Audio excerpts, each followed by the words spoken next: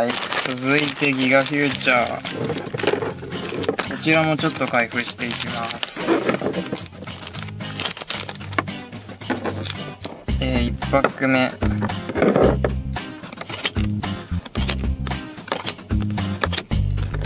はい、チャンピオンロード。結構強いですね。まあ、バンの決め手のカードって言ってもいいぐらい。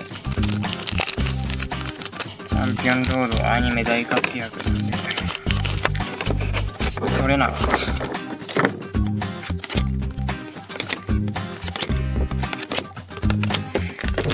はい、3パック目。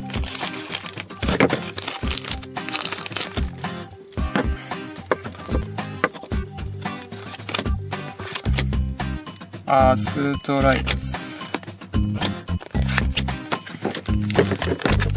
ヒーロークライマックスとランページソニックここら辺はもうアニメ大活躍でランページはもうまあガオーはね脱いじゃうんですけどね。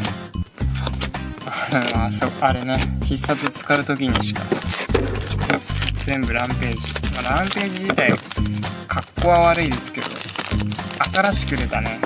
あの、第2形態のあれ、めっちゃ強いっすね。